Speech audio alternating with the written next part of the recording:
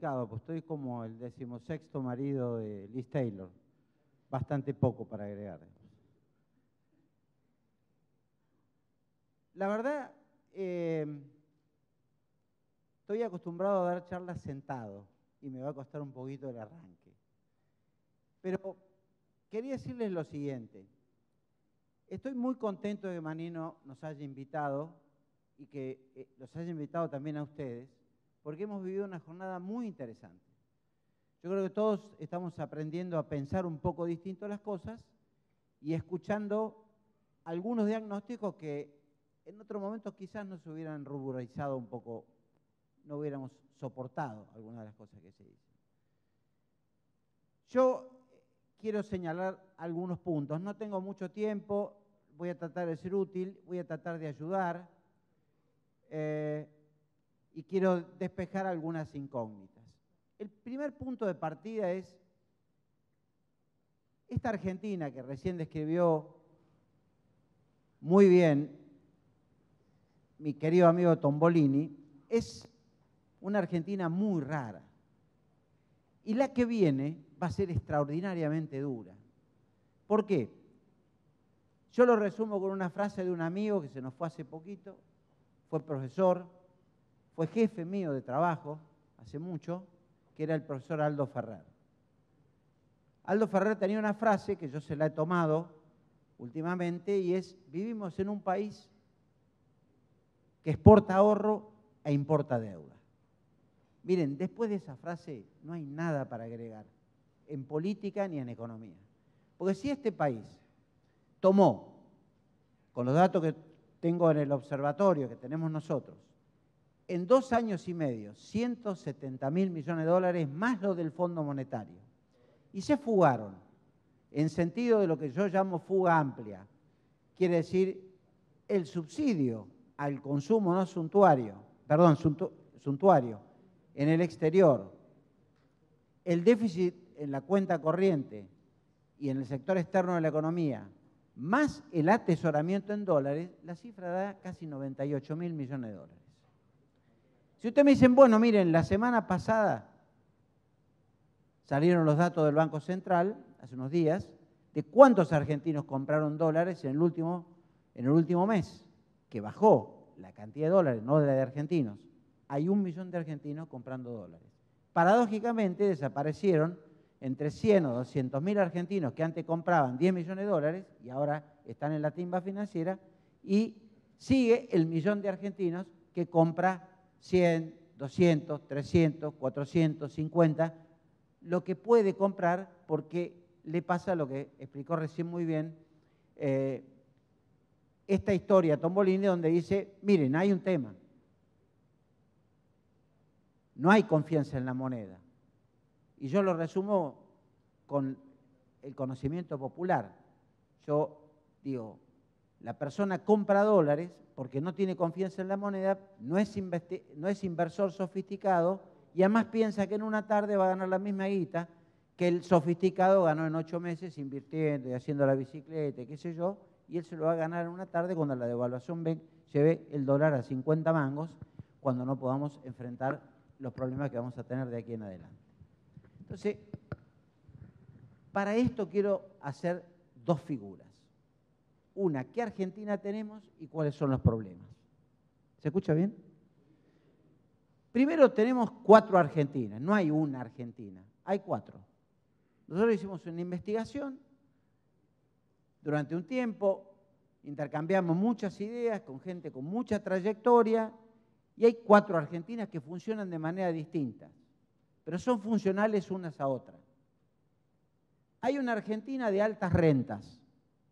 Hay una Argentina que captura mucha renta y tiene una gran capacidad de ganar dinero capturando esa renta, que son el sector financiero, la industria petrolera y gasífera, el sector, digamos, que tiene renta urbana porque invierte en sectores donde cada movimiento en el tipo de cambio levanta el valor de la tierra, y la renta agraria.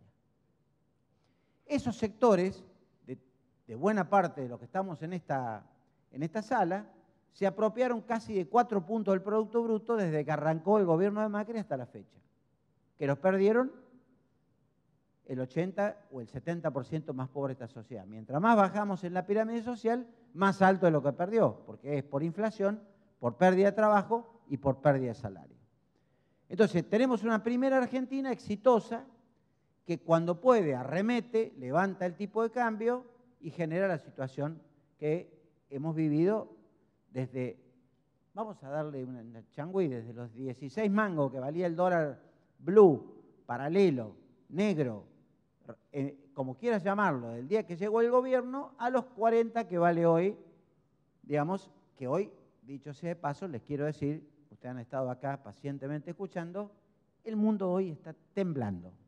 Primero, porque eh, la, la primera ministra británica no, no, pudo imponer la salida del Brexit en la, en la Cámara de los Comunes hoy y tuvo que levantar la sesión, con lo cual hubo una gran eh, pérdida de, la libra esterlina en favor del dólar, digamos, ha perdido la libra esterlina a 1,20 y pico. Recuerdo que cuando estaba en la Unión Europea valía 1,70 con relación al dólar, hoy está en 1,27, 1,25.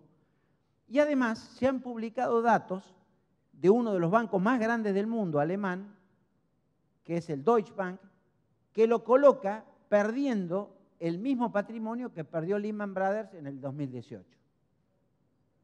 ¿Qué pasó? Las bolsas explotaron, digamos. O sea, no es que están en el tironeo China con Estados Unidos. No, no. Hoy se publicaron los datos y evidentemente no es nuevo esta información.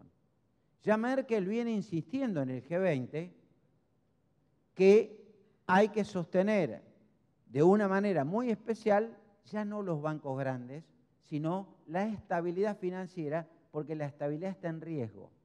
Y esto pasó hoy. Mañana puede ser que todo vuelva a la normalidad, como que no vuelva a la normalidad. Entonces ahí cobra fuerza un dato que también se publicó hoy, que además de ser, digo, va rotando los que van en ese podio, ¿no es cierto? Va rotando. Pero nosotros estamos en todos. Desde hace un año y medio, dos, se publica semanalmente, cada X cantidad de tiempo, por parte de agencias internacionales, que uno no diría que, que son, digamos, sesgadas, como es el caso de la agencia Bloomberg o la agencia Reuters o las calificadoras de riesgo, quiénes son las tres economías más vulnerables. Hoy las lideramos nosotros con eh, eh, con dos países realmente muy pequeños, pero en otras ocasiones estuvimos al lado de Egipto y Turquía, hoy estamos al lado de, países como Sudán, Zambia, que tienen problemas de sustentabilidad macroeconómica.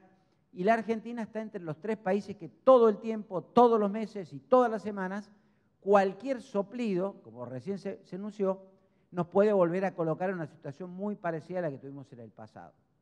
Entonces, ¿qué ocurre?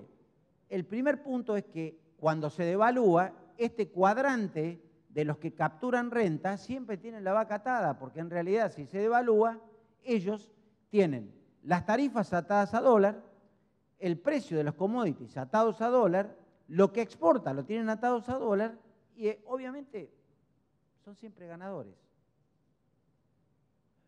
El segundo grupo es un segundo grupo más chiquitito.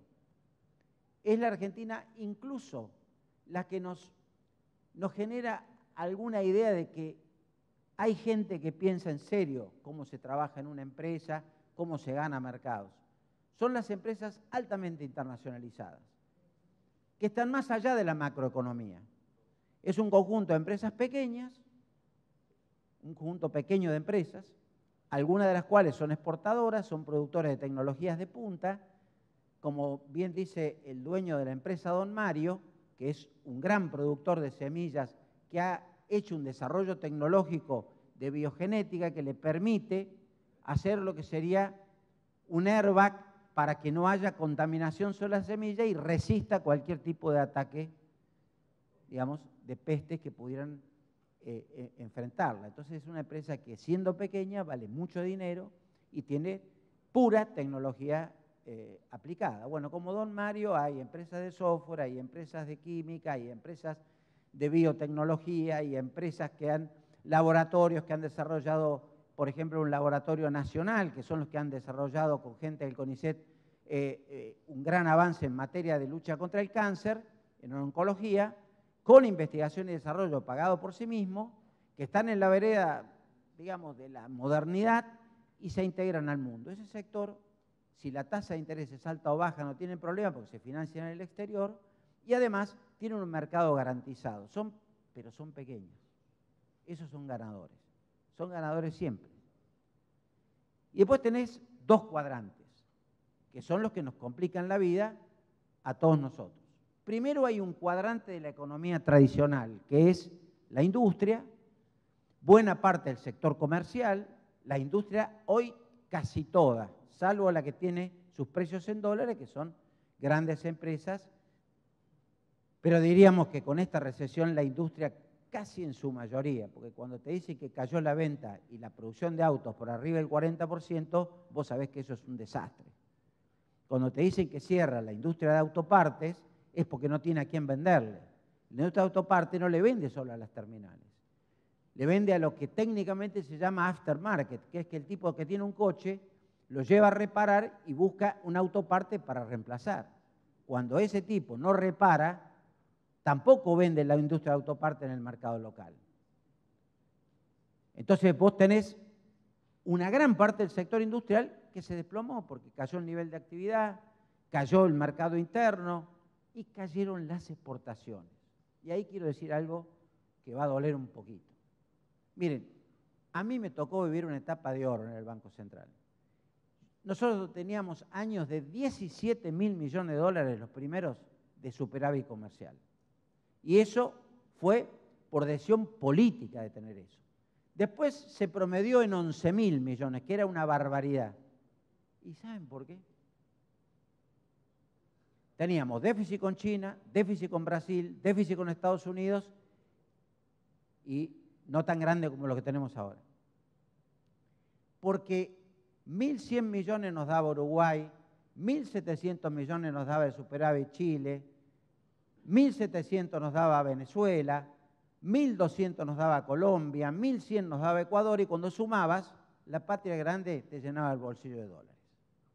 Y la Argentina exportaba camionetas, exportaba alimentos de alta gama, zapatos de alta gama, porque los brasileros, con todo respeto, con Bolsonaro o sin Bolsonaro, no tienen clase obrera con la calidad de trabajo que tiene la nuestra. No pueden producir zapatos de alta gama la Argentina produce 65%, perdón, producía 65% zapatos de alta gama que iban a Brasil porque ellos vinieron a invertir acá porque su, su organización empresarial no la, podía, no la podía producir. Y ellos tienen un 35% de mercado porque la distribución del ingreso es muy injusta con consumo de zapatos de alta gama. Entonces te llevaban zapatos de cuero de la Argentina, calzado deportivo de la Argentina, y te llevaban esos productos que nos compensaban el desajuste cuando los argentinos comprábamos el Corsita o comprábamos el Gol que se producía en Brasil y se lo estábamos pagando con productos industrializados. Entonces, hay una Argentina que se desploma. Cuando esa Argentina se desploma, ¿qué pasa? Aumenta la desocupación. Y cuando aumenta la desocupación, la gente ¿dónde va? Bueno, ahora va a la calle. Pero hay lo que se llama la economía popular, la economía que se quedó sin trabajo y va a la changa. Bueno, esa es la cuarta Argentina, que es cada vez más grande. Entonces vos tenés que cuando le va bien a uno y dos, a tres y cuatro le va mal. Y tres y cuatro pagan el costo de la fiesta que los de arriba se llevan con la devaluación, con la tasa del 60%, etc. Les voy a contar una cosa que pasó que es creación popular pura, digamos, que yo, la verdad que con los años que tengo profesional, nunca se me había pasado por el mate. Tomo un taxi, veo a un señor con un celular, lo da vuelta y dije, puh, esto lo tiene la máquina en en la, cosa. Digo, ¿qué tal? No, más o menos. Dice, ahora trabajo 18 horas para poder llevarme lo mismo que antes cuando llevaba 10. Levanta así, tenía una foto de la doctora. Entonces, empieza a contarme. Y me dice, no, la gente está muy caliente, me dice, porque claro, lo ven a los muchachos que se movilizan, cortan calle, me dice el hombre. ¿Y qué pasa? Cuando cortan la calle se calienta. Dice, vaya negro de mierda, mirá, cortan la calle, son todos planeros, qué sé yo. Entonces yo un día pensé, me dice el tachero, ¿Y los ricos? ¿Le dan planes? Sí, le dan planes. Entonces le pregunto a una señora que venía insultando. ¿Usted sabe lo que es una LEVAC? ¿Sabe lo que es una LELIC? No, la AUH de los ricos, que Macri inventó para darle a los ricos. Y es eso. Si yo tomo cuánto se va llevando el sector que invierte, es maravilloso el, el ejemplo. Hay una parte de la política pública que en realidad con la tasa de interés real que recibe el tipo que se mete en el circuito especulativo, se lleva casi el 4% en dólares mensual. Hay meses que fue muy superior, no quiero decir la cifra porque es impúdica. Bueno, entonces, ¿qué ocurre? Todo esto es fantástico, che, qué bueno, mira la Levac paga tanto, comprar Levac, no invierta en plazo fijo. En el medio destrozamos el Banco Nación, no destrozamos el Banco Nación, les digo sinceramente, destrozamos el Banco Nación. En un año le sacaron 100 mil millones de pesos, que se los llevó el Tesoro. Le están haciendo poner los dólares para los PPP porque no ingresa dólares, porque no hay confianza en la Argentina, ni van a ingresar. Y, por otra parte, hay algo muy importante. No hay ingreso de capitales, eh, el ingreso de capitales productivos a la Argentina, que antes venían a las cadenas de hipermercados, a las fábricas, a las empresas transnacionales, etcétera, que llegaron a ser, diríamos, del orden de 6 mil, 7 mil, 8 mil millones de dólares en los años peores de la década pasada, hoy no pasaron nunca de 2 mil millones, 2.400 millones de dólares en todo el periodo, en los tres años. Entonces, lo que digo es, Fíjese, la industria no invierte porque no tiene mercado. No exporta porque aún con un tipo de cambio alto tampoco puede exportar, porque la inflación lo liquida. Y tampoco puede mostrar balances positivos, porque en realidad empresas gigantes argentinas, que ya son transnacionales argentinas, están poniendo balances negativos como le pasó a Arcor la semana pasada. Entonces, eso es producto de que Arcor no puede tomar financiamiento en el exterior porque la cifra de su balance ha caído 4%, no en pesos, en toneladas la venta en el mercado local. ¿Mm? Y deja de generar ganancias aquí para poder montar fábricas en el exterior que después le harán traer los dineros acá porque Arcor tiene domicilio en la Argentina. Entonces la familia dueña de la empresa le dice al presidente de la compañía, mirá, nos iba mejor antes, porque evidentemente estamos fundidos con estos tipos, estamos perdiendo 6.200 millones de dólares y no terminó el año, de pesos y no terminó el año. Entonces digo, esta es una parte de la Argentina. ¿Cuáles son los grandes problemas? Recién Tombo explicó uno de los grandes problemas, la deuda.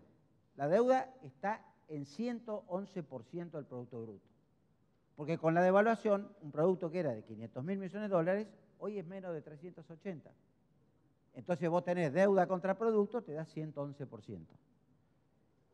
Sin contar la del Fondo Monetario.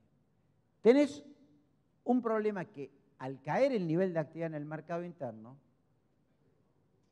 al caer el nivel de actividad en el mercado interno, desaceleras toda la economía. Entonces, hay un fenómeno que te, te hace que todas las expectativas sean abandonar las inversiones y abandonar la producción porque tenés problemas en ver cómo va a comportarse el mercado interno de aquí hacia adelante. Se consolida un modelo que ya sabemos que terminó mal toda vez que se puso en práctica, todas. La Argentina tuvo ocho ciclos históricos de endeudamiento que terminó con derrumbe e implosión. Ocho a lo largo de toda su historia. Desde la crisis, diríamos, de 1873 para acá, terminamos siempre lo mismo. ¿Y cuál es el tema?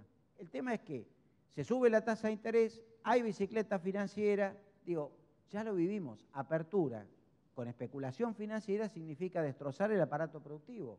O sea, vos no es que cerrás comercios porque en realidad la gente no tiene tiempo para comprar, no, no tiene guita para comprar. Y si la tiene, la reserva para pagar la canasta básica.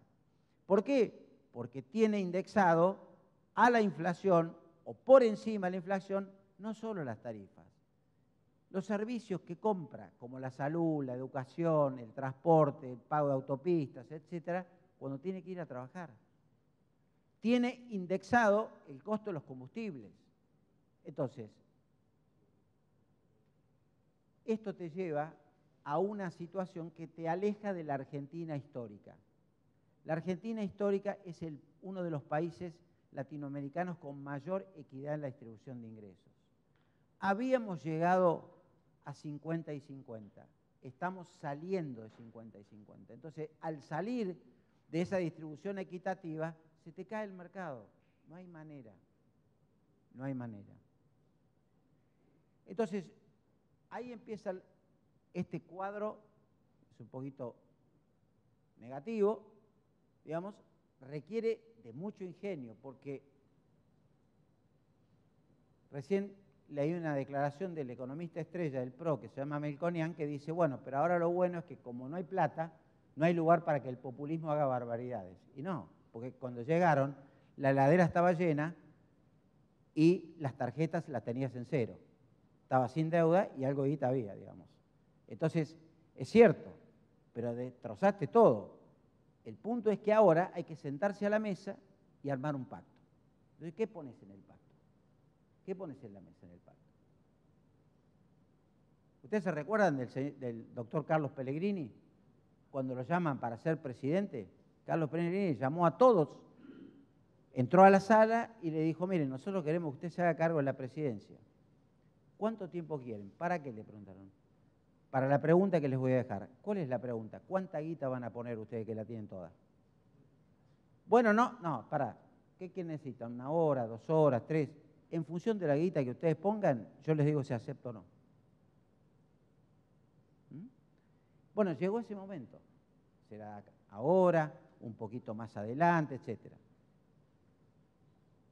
Amigos, compañeros, amigos, chiques, como quieran se viene la noche porque la Argentina tiene todos los vencimientos que emitió este gobierno que vencen entre el 2020 y el 2024. 2026, ¿querés? Te hago, te hago precio, te lo tiro al 26. Todos los vencimientos los tenés ahí. No es que tenés que ir a desempolvar, sacar la plata y ponerla. Tenés que renovar deuda. Pero el año que viene te vencen 85 mil millones de dólares. Vencen, que tenés que renovar una parte, pero hay otra que hay que pagarla. ¿Cuántas son las reservas de libre disponibilidad que tiene el Banco Central hoy? 3 mil millones de dólares. ¿Eh? 3 mil millones de dólares. Tiene menos que cuando se fue. 3 mil, sí. ¿Por qué tiene 3 mil millones de dólares? Porque el resto no lo puede usar. El resto son el swap con China, que se usa para pagar comercio exterior, los recursos del Fondo Monetario, que solo se pueden usar para amortizar deuda, y es no tocar más ese dinero y los depósitos de los particulares que tienen en los bancos que el Banco Central no lo puede usar, salvo que los manotee y le coloque un bono a la gente que los tiene, que son 26 mil millones de dólares. Entonces, cuando te dice el mundo que la economía está frágil, es precisamente por eso. ¿Eh? Eso te hace mucho ruido y el mundo te dice que está frágil. Entonces, ¿qué tenés que hacer?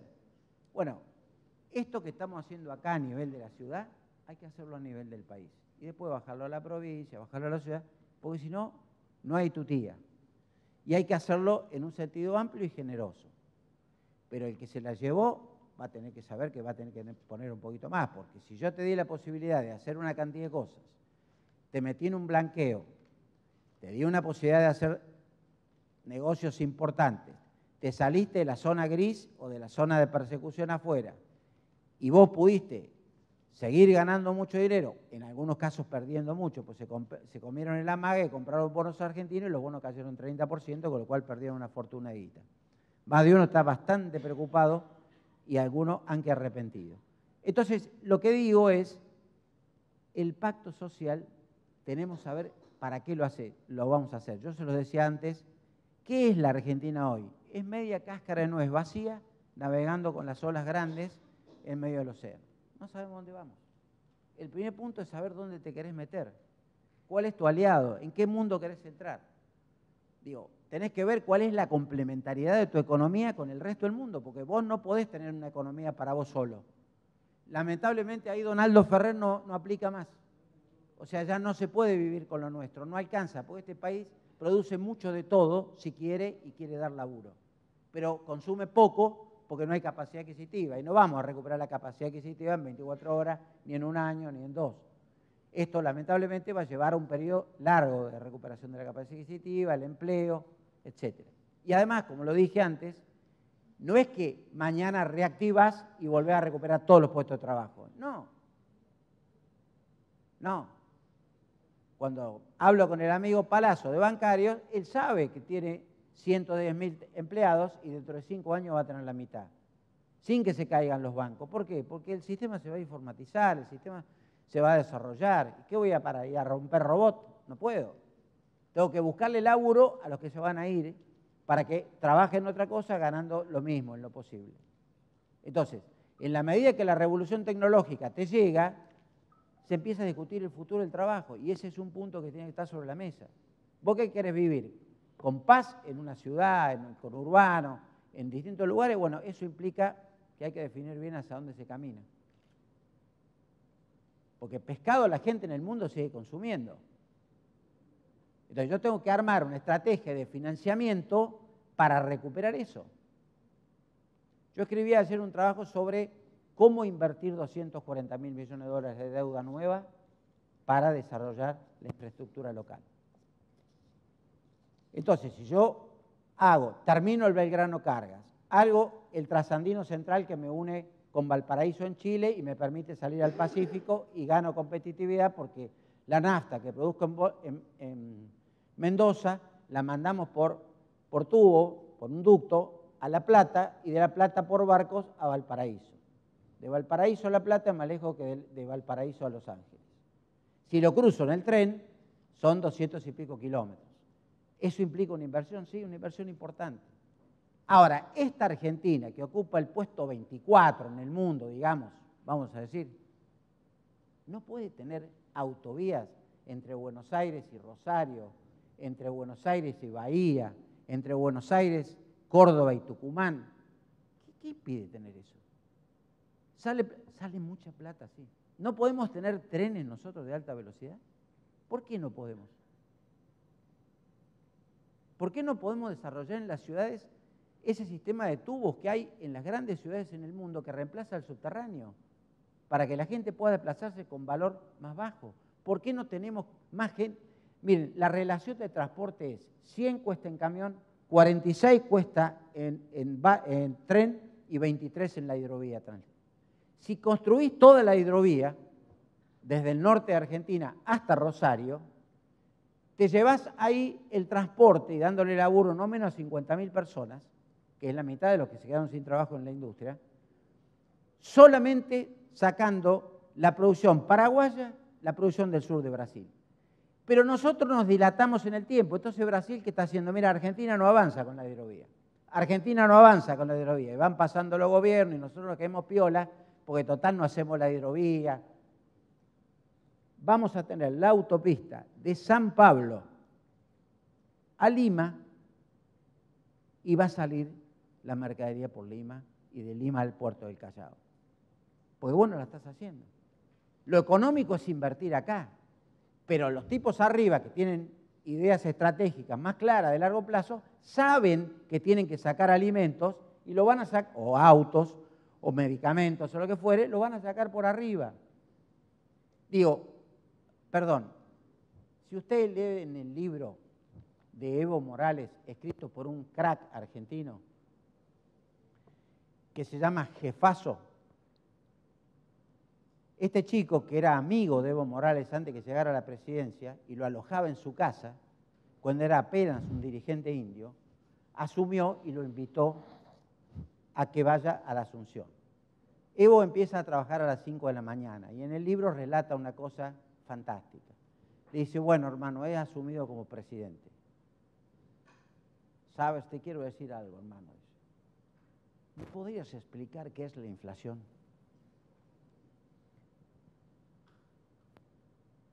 Bolivia tiene 5% de inflación anual, o 4%.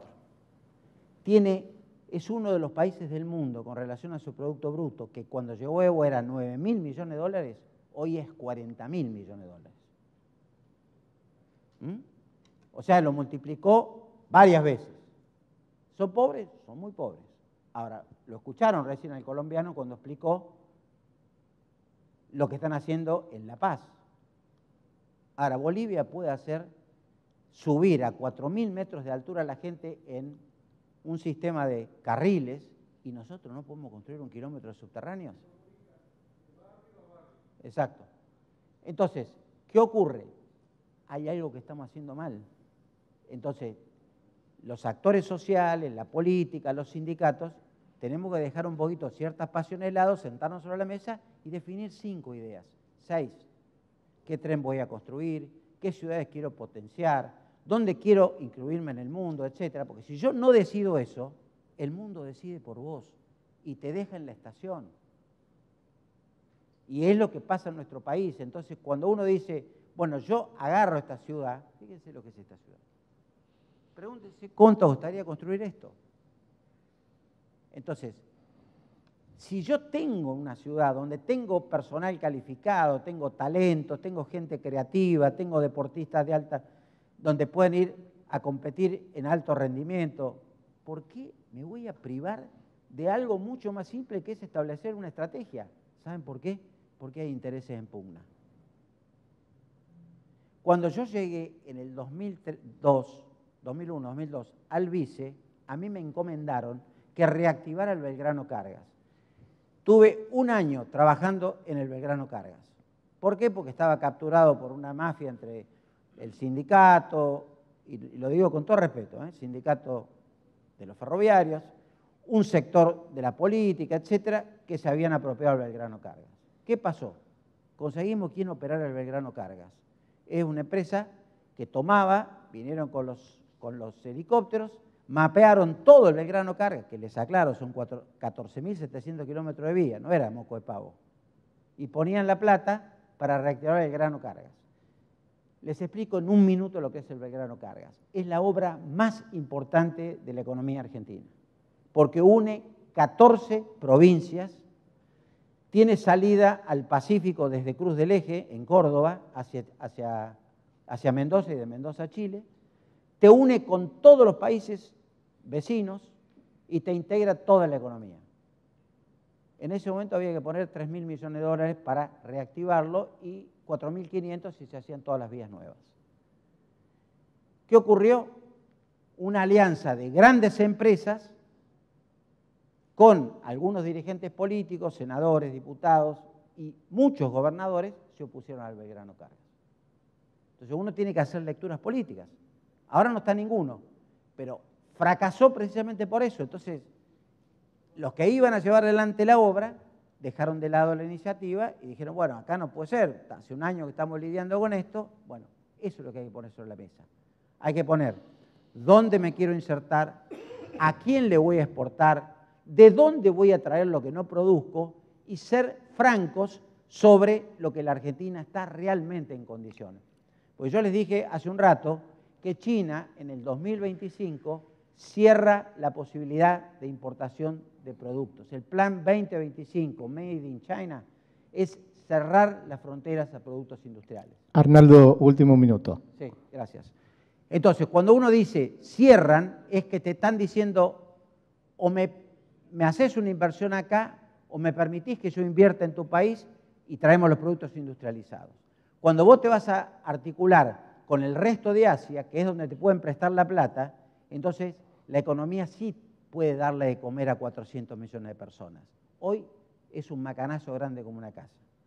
Entonces, para hacer esto hay que poner las ideas sobre la mesa, los técnicos sobre la mesa, la política sobre la mesa y el capital necesario y el financiamiento para darle y devolverle la esperanza al pueblo argentino. Gracias.